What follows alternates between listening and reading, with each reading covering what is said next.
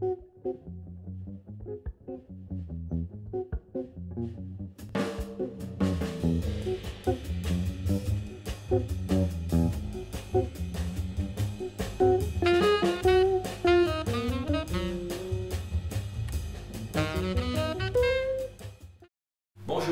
alors aujourd'hui nous allons parler de Freddy Freeloader, un thème très connu de Miles Davis qui se trouve sur l'album Kind of Blue.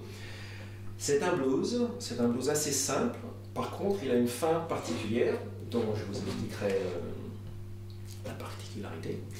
Euh, je vais commencer donc par jouer le thème. Alors le thème à la guitare c'est très pratique, on peut jouer à trois notes. Et euh, je vais vous jouer tout simplement et après j'expliquerai ce qui se passe. Alors voilà le, le groupe derrière moi